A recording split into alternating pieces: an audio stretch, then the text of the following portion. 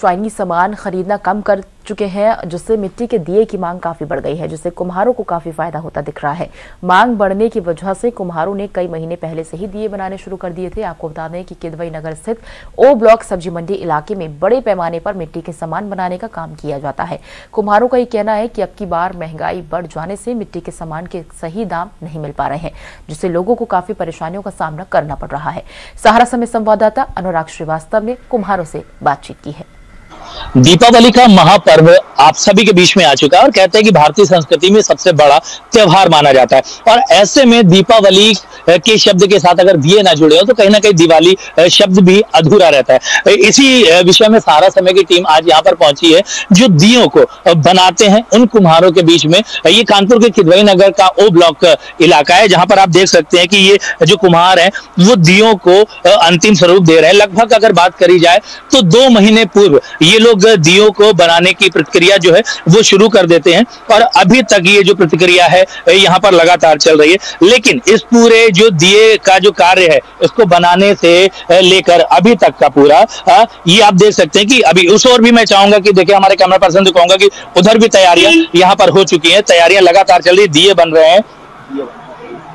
और साथ ही साथ जो दियाली है वो बन रही हैं। तो अभी मैं यहाँ पर जो हमारे बीच में ये कुम्हार हैं इनसे बात करना यहाँ पर चाहूँगा ये देख सकते हैं ये दिए को अंतिम स्वरूप दे रहे हैं यहाँ पर। आ, क्या नाम है आपका? दिनेश कुमार प्रजापति। है दिनेश जी अगर बात करी जाए दियो की तो अभी भी आप ये दिए बना रहे कौन कौन से दिए दियारी और क्या क्या जो दिवाली में प्रोडक्ट होते हैं? दीपावली के सारे आइटम बनते हैं जैसे गणेश लक्ष्मी हुई कुबेर हुए दियाली हुई काजल वाले हुए ये सब छह महीना पहले से हम लोग बनाने के लग्गा लगा देते हैं।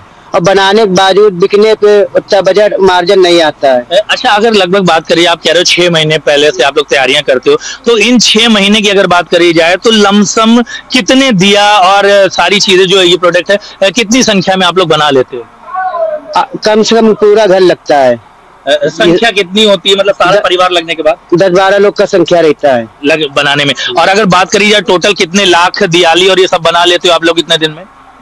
एक दिन में चार हज़ार दियाली बन जाती है। सबसे पहले बेटा तुम्हारा नाम क्या है? निखिल प्रजापति। निखिल। निखिल ये तुम ये दिए बना रहे हो। कब से ये दिए बना रहे हो? हम जब छह पाँच साल तक से बना रहे हैं। पाँच साल से दिए ये बना रहे हो। लगभग अगर बात करी जाए तो एक दिन में कितने लगभग दिए बना लेते हो अभी तक? तीन हज़ार बन जाएँगे।